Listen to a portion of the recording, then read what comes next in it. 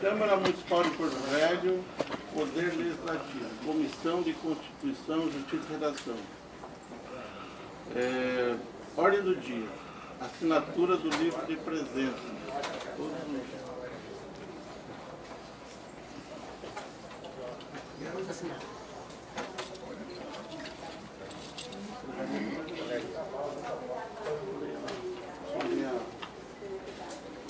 Repetir aqui. Nossa presidente, o secretário não estava. O- Comissão Permanente de Constituição, Justiça e Redação, ordem do dia.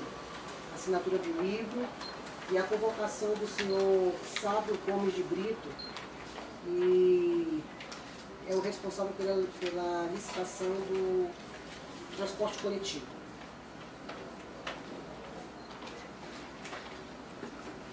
Vereador Everaldo Fogaça, presidente da CCJ.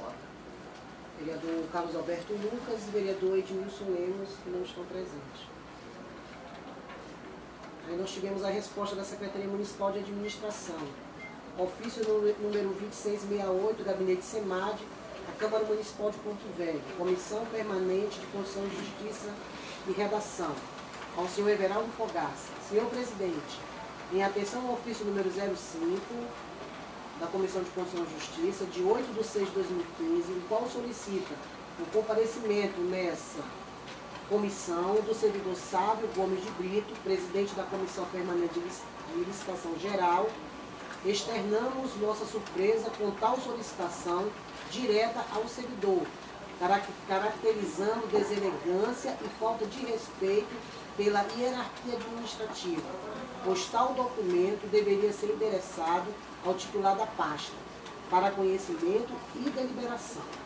Comunicamos que, devido ao grande fluxo de serviço na Comissão Municipal de Licitação, CML, concessão de licitação já previamente agendada, o servidor não será autorizado a se ausentar, pois ele é de vital importância para o bom andamento dos procedimentos licitatórios. Atenciosamente, Mário Jorge de Medeiros, secretário municipal de administração. O servidor Sábio Gomes de Brito ele foi convidado a comparecer a essa comissão no horário de hoje, 10 de junho de 2015, às 11 horas da manhã. Como ele não compareceu, a partir de agora ele será convocado, será convocado para essa comissão e essa comissão também tomará aqui as medidas cabíveis por desobediência dessa convocação. Encaminhará uma cópia desse documento ao Ministério Público do Estado de Rondônia, ao Tribunal de Contas do Estado de Rondônia, à presidência da Casa, a todos os vereadores da Câmara Municipal de Porto Velho, informando sobre essa desobediência e sobre essa resposta mal criada do, do secretário Mário Medeiros.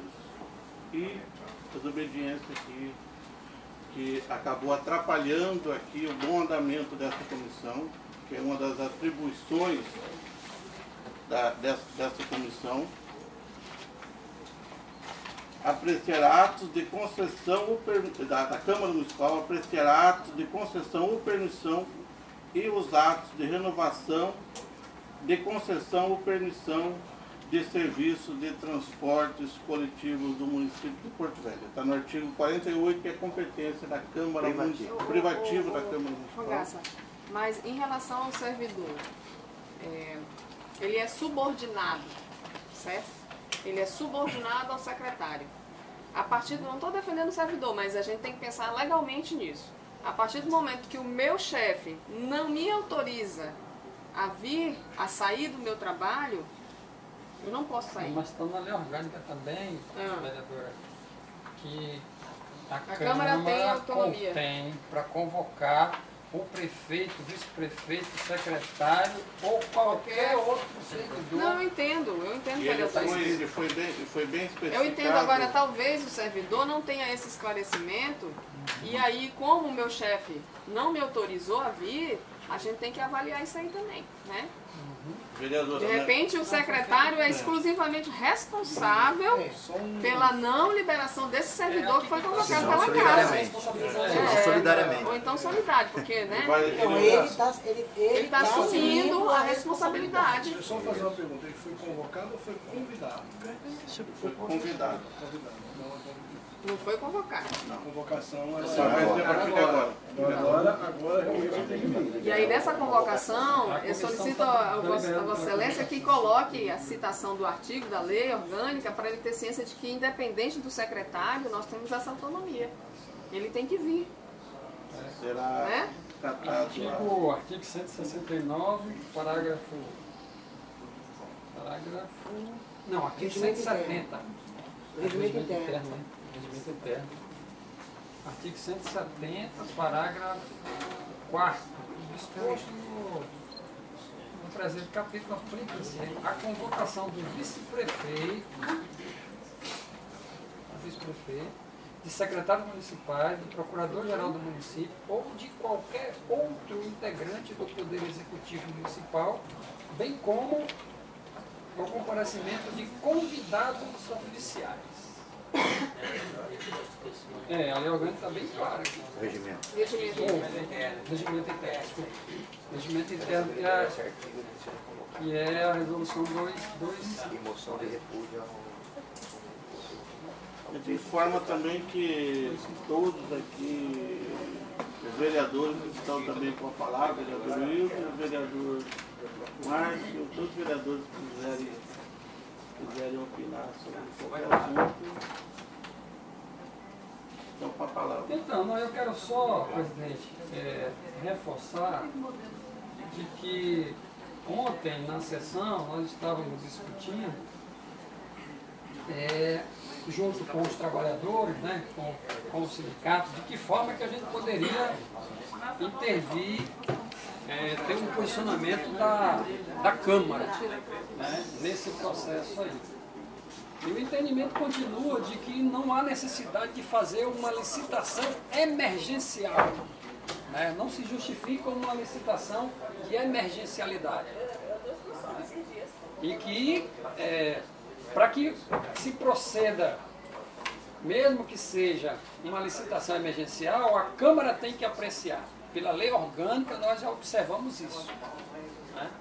Então, eu queria deixar isso para presidência da, da Comissão de Constituição e Justiça, de que qualquer ato do Executivo Municipal, seja de renovação, seja de emergencialidade, em relação ao transporte coletivo, é dever da Câmara apreciar esse ato. né? Segundo o artigo 48, inciso 20 da Lei Orgânica do Município de Porto Velho. Inclusive, as providências eh, jurídicas cabíveis no que se refere ao respaldo jurídico que é o, o prefeito eh, tem em mãos, que é essa liminar do Tribunal de Justiça. Que pode ser tornado um ato nulo. Que exatamente. E aí vai ter um prejuízo muito maior ainda. Em função disso, o, o juiz, não sei se foi induzido a erro, mas ele, ele jamais poderia conceder uma liminar, pelo que eu estou entendendo aqui, pelo que eu conversei, né, salvo melhor juízo, é, a lei orgânica está tá taxativa nesse ponto de qualquer licitação, renovação, ele tem que comunicar, tem, no transporte coletivo, e é específico no transporte coletivo, tem que a Câmara apreciar o ato do Executivo Municipal. Artigo 48. Artigo 48, inciso 20. Apreciar, apreciar os atos de concessão ou permissão e os atos de renovação de concessão ou permissão de serviço de transporte coletivo. Eu não sei, Elis, ele, eh, tem um, Aqui tem uma instrução, foi de dia 30 de, 30 de abril. Ele alterou, que ele, você pode ver aqui, ó. Alterou o quê? Ele alterou toda a questão do processo emergencial. Sim, mas aí, Me- mesmo, mesmo é. que altere, tem que passar pela Câmara. Alterou, você pode ver aqui. É competência da Câmara. Olha, Um O que decreto. está dito aí? Não, é uma, é uma, instru... é, uma aqui é instrução. um decreto municipal, né? Justamente para essa licitação. Ah, ele, Ele ele instrui sobre- sancionou um decreto. Sancionou o decreto. Logo após a capacidade. Decreto Municipal 13.848, de 30 de abril de 2015. Instrução sobre o processo de cadastramento de pessoas jurídicas de veículos automotores a serem utilizados na exploração de linhas do sistema de transporte de ônibus coletivo urbano na cidade de Porto Velho, em edital de chamamento público de caráter emergencial. Ele fez um decreto específico para esse, pra esse chamamento. Ele é mala, né? Mas isso aí. Mas independente Então, disso, independente disso, tem que passar por Tem que É. É, é- é uma concessão. um decreto não é superior à Não, de lei. Não, pois é, mas o, argumento que usou, eu acho que a, defesa foi feita na justiça. Não, cima eu acho que, eu acho que a justiça nem Sim, sabe é. disso aqui, Eduardo. Eu Não também sei se observaram a lei orgânica, não. Não sei se observaram. Não sei nem se a própria vereador. prefeitura observou a lei orgânica. Pronto, que a casa, a partir do momento que tem conhecimento do artigo, quando há uma demanda jurídica, a casa tem, é próprio de uma petição intermediária, informando aquele juízo, que fique atento ao artigo tal. É importante a casa sempre peticionar intermediariamente, mesmo não estando nos autos. Se não o fez, já tem a liminar, se ainda está em prazo de agravo regimental, a casa pode fazer um agravo regimental e levar para o pleno do tribunal. Se já vencemos esse prazo, nós estamos sucumbidos juridicamente, mas nada impede que seja aplicado o artigo 48, de que pode, a casa pode deliberar pela maioria um decreto legislativo sustando esse decreto, um decreto legislativo sustando todos os atos, porque não está cumprindo o artigo 48, que são atos de concessão. Ato não é a concessão, atos são atos administrativos. Desde seu- a sua origem, é um ato, que vai origi- originar lá no final o quê? Objetivo fim, uma concessão. Esse ato, o artigo 48 diz que compete privativamente à casa. Perante isso, a casa pode se manifestar em todos os atos. Inclusive nesse aí. Entendeu, senhor? Inclusive nesse decreto. Quando alguém perguntar, ah, mas não, é a concessão, a Câmara está fora do tom, fora do seu momento, não. Atos de concessão. Os atos é desde, desde o expediente do início. Isso aí, né? Não é isso, senhor vereador? É assim, entendo assim. É. Salvo o melhor juiz Dia também 15 entenda vai assim. ser votado no pleno. Tem 13 procuradores que vai votar esse processo. A casa pode então ainda fazer petição intermediária e, e- e- alertar aquela corte para ficar atento ao que estabelece a lei orgânica. Se ela entender que a lei orgânica é sujeita a conhecimento, a análise e deliberação daquela corte, ela vai dizer. Senão ela vai dizer que atende, não atende. A casa pode até ir para o Superior Tribunal, se a casa não atender aos interesses, que a casa aqui possa entender que é dela, é dela privativamente, aqueles atos. Eu acho que Analisar. urgentemente nós temos que dar para a Procuradoria fazer um documento enviar para o Ministério Público, Contas, Tribunal de. Justiça. Alertando. Nós não estamos aqui defendendo a empresa nenhuma, nós estamos aqui querendo que se faça a licitação, explicando o que tem a ver Os atos. explicando que tem ali a, a- a- a questão do, Dos atos. do administrativo do prefeito, questão da licitação e informar. Daqui a pouco vai achar que a gente está aqui defendendo outra coisa que não tem nada a ver. deveria ter da encaminhado para cá. Ele encaminha, não tem tempo de encaminhar, a gente apreciar e dizer, olha, não concordamos com a licitação temporária, assim, definitiva. Faça uma. Aqui dá apreciar. Apreciar. Aí tem que apreciar. Tem Tem que que apreciar de qualquer jeito. Tem que passar por aqui. Ele tem que pedir anuência aqui. Para fazer uma Aí a gente vê a, a, a eficiência da procuradoria da. Não, isso quer fazer no peito. né? é competência da Câmara apreciar o. Tem- Teria condição de já fazer a convocação do Procurador-Geral do município. Porque se fosse, se fosse algo contra a gente, a procuradoria da prefeitura ia envolver câmera, só ele mesmo. Como é benefício deles, eles simplesmente ignoraram. Eles sabem, a procuradoria da, da prefeitura sabe O procurador artigo. da prefeitura não sabe. O mito é? É, Sabe sim. Sabe, sabem da, da, da, desse, artigo. É que Porque, assim, se a gente não o que, observar, o que, o que nós temos que ver é que se houver essa licitação, qualquer outra pessoa, ou a Câmara, ou qualquer um outro cidadão que ficar- tenha conhecimento Da do- orgânica. da lei orgânica do município, pode entrar e vai se tornar nulo o ato, porque não, não foi apreciado pela Câmara. E aí que vai dar um problema muito maior. Vai Né? ter, vai ter É como o Eduardo que a né? gente não está defendendo a permanência, porque até a população quer que seja retirado. é, esse, esse- mas o que nós queremos é que o processo seja feito de uma forma legal e que não dê um problema posterior muito maior. E definitivo, né? E Porque definitivo. não se justifica a emergencialidade. No caso, até o- Emergencial por o emergencial tá fica o que está como aqui. lixo Esse é, é é o- hoje. Peron? Ah, então. A solicitação do Sinteto Peron? Isso. Dá um, dá um recebido aí. Acho que Já deu recebido. o senhor, foi Mariana? O seu Mariano já deu. Já, tá. Já. Ofício Aí é bom para essa- conhecimento dos vereadores. Anexar esse pedido número do sindicato 35, no Porto Velho, processo. 10 de junho de 2015, Da a. Câmara Municipal de Tá. Porto Velho, Câmara Municipal do município de Porto Velho.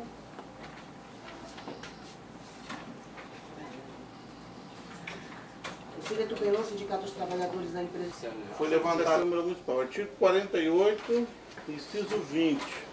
Apreciar os atos de concessão ou permissão e os atos de renovação de concessão ou permissão de serviço de transportes coletivos no município de Porto Velho. Então, não foi, não foi eh, respeitado a, a, a Câmara Municipal. Esse artigo, esse artigo, esse artigo 48 é bem claro, tá? inciso 20. Essa aqui é uma emenda do, do, do, do ano de 93, na Lei Orgânica Municipal. E como a licitação é no dia 19 e para que o município não tenha, não tenha nenhum prejuízo com essa licitação, todo esse processo, a gente gostaria que o servidor sábio eh, e a sua pessoa também, a gente senhor tem um prazo de oito dias para comparecer na comissão. Isso aí será na quinta-feira. A licitação será na sexta, no feriado. Você teria como comparecer na, na comissão através de convite amanhã. Amanhã é quinta. Regimento. Regimento.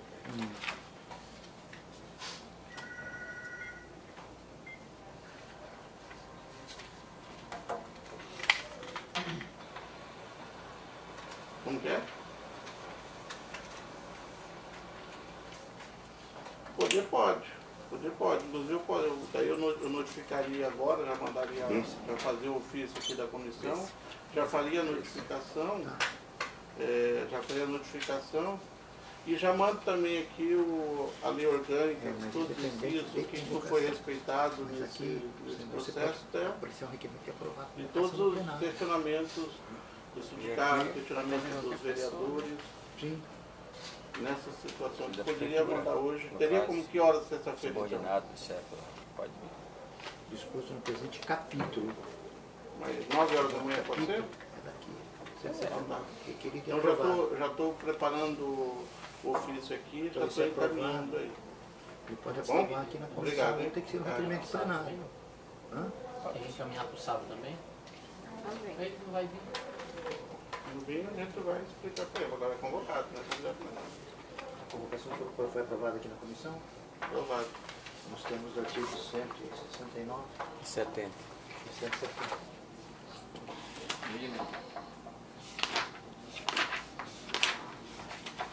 Convocação do, do servidor. Transforma o convite em convocação. né? Convocação. Sávio Gomes de Brito. Agora, essa- essa convocação aí, Fogaça, tem que ver o. que a comissão tem que ter pelo menos dois membros presentes, né? Então, ver com o vereador. Edmilson, o vereador Edmilson, para que compareçam, porque todos os cidadãos, todos os atos da, da comissão também podem ser questionados. Eu vou convocar Eu sei porque na época convoquei o, o secretário Jair Ramírez, só ficou eu na comissão. Lembra, senhor Maria? Lembra? Nem fui para frente porque os atos iam ser todos. Quem são os suplentes? Não, sei. Não tem né? Não tem suplente? Não. Mas pode ter, né? Pode não? Não, não está previsto isso não, né? Porque cada um é membro efetivo do, do- da, da comissão. São muitas as comissões. né? E só pode participar de, de duas comissões, né? De três comissões. Três. Composição não prevê membros? Olha aí, que sabe. Ficou deliberado, então. ficou- então os membros da tá. comissão. Ficou Está deliberada a convocação. Na ausência, o presidente delibera, meu. Na ausência, o presidente delibera. De para poder os, os atos. Não, não, mas eles não foram, não foram convocados, Foram colocados. o presidente delibera. Nós somos convidados, estamos aqui. Depende do interesse de cada um. Agora convoca novamente Agora amanhã, convocação. Fogaça? Convoca os dois amanhã. O livro das assinaturas, por favor. Convocação dos. Membros da comissão. As pessoas presentes, por favor, abaixo dessas assinaturas, o seu nome e o que se você representa alguma, alguma entidade. O seu nome, por favor, que seja legível. Edmilson. O seu nome. Edmilson. Não, Edmilson e Chocolate. Ah, é? É. Edmilson. Lemos. Comissão não pode ficar prejudicar essa ausência de membro. Ela tem que prever alguma questão de suplente, não é possível. Isso é de ordem hierarquia. Estipulado. De ordem hierárquica. Mas eu acho que, se não me falha a memória, Ah, é nesse caso da falta do, ele se foi convocado, ele faltou, o presidente delibera. Tá das Convoca a vereadora aí. DOC. Pega aí. Talvez possa ser, é porque administrativamente Aí. também que cabe. A DOC Pode, pode. manda, manda notificar um, um vereador que vem Qualquer fazer parte. O vereador que estiver presente pode ser. Pode Pode ser designado a DOC, né? designado a DOC pelo presidente, né? Tem que ser, quem pode. É, a comissão dessa importância É, ficar sem, a comissão sem, sem competência, Ficar atribuição da sem vontade. trabalhar em função da falta do... O seguidor Sávio. Sávio. Gomes e Brito. É, que se não prevê, elas podem usar subsidiariamente o que estabelece a hierarquia subindo cada legislativo, que é Assembleia. Se a Assembleia não prevê, eu sei que prevê, mas se não prevê, você faz por, por analogia da Câmara dos Deputados. Então, Você pega a hierarquia do seu órgão, da sua casa. Uhum. Porque você está com vacância no seu, no seu regimento. Você tem uma vacância. E o procurador-geral do município, né? Também foi recebido também na comissão. Numa folha à parte, amiga, numa folha à parte, basta a gente pegar o telefone desse pessoal, porque depois a gente vai telefonar para eles virem assinar a ata, entendeu? Como presidente.